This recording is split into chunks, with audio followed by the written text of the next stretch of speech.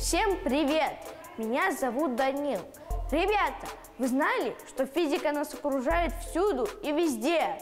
Если предмет упадает на Землю, то действует закон притяжения. Я предлагаю вам узнать о физике немного больше вместе с кружком занимательной физики.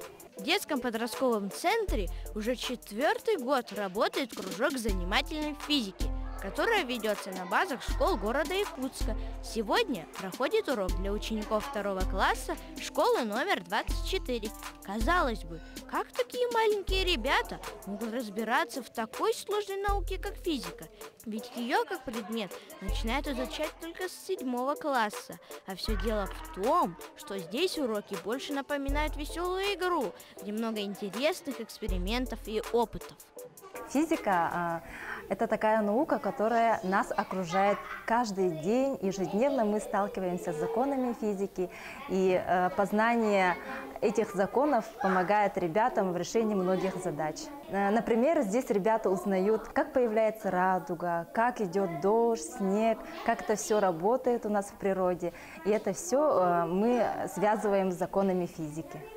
Мы сегодня делаем э, эксперимент на равновесие. Ребята сейчас делают э, балерины, которые будут балансировать э, на пальчике, на кончике пальца. А сейчас мы посмотрим, что получилось у ребят. Расскажи, что ты сегодня подделала. Я сделала красивую балерину, вырезала и разрисовала ее. Я нацепила груз, и она держит равновесие. Было очень интересно и очень легко.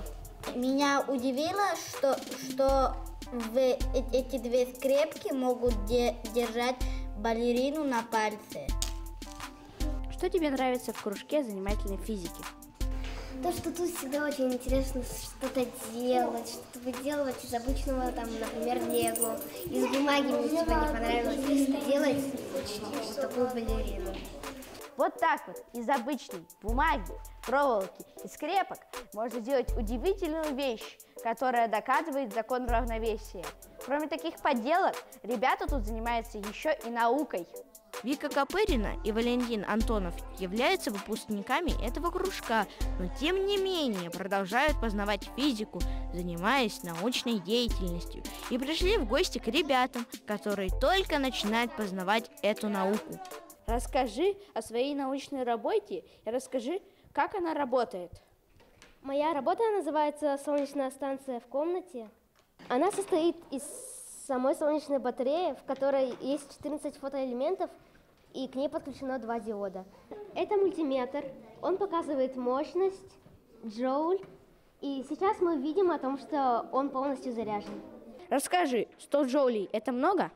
Ну, 100 джоулей может хватить на зарядку сотового телефона. Валентин, расскажи ты о своей работе. Я собрал свою мельницу из лего-набора.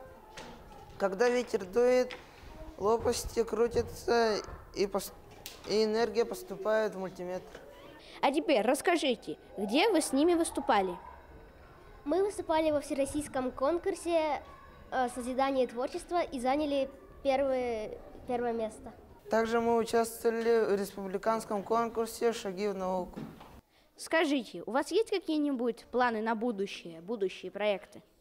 Ну, я хочу, чтобы потом с помощью моей солнечной батареи я могла заряжать разные гаджеты, телефоны, или, может быть, даже могла снабжать город с помощью этой электростанции. Интересно. А у тебя, Валентин?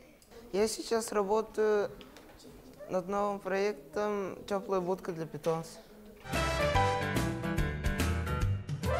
А сейчас, дорогие зрители, мы с Викой и Валентином устроим эксперимент на плотность жидкостей. Сначала наливаем мыло, потом наливаем воду окрашенную. И под конец масло.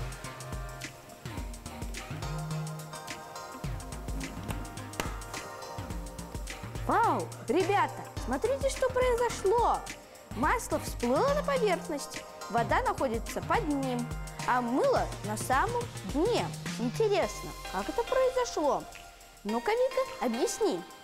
Это все потому, что мыло имеет самую большую плотность, поэтому масло и вода остались сверху. Спасибо большое, Вика и Валентин. Вот так. Физика может быть не только сложной, но интересной и занимательной. Погружайся в мир науки вместе с Photon Club. Пока!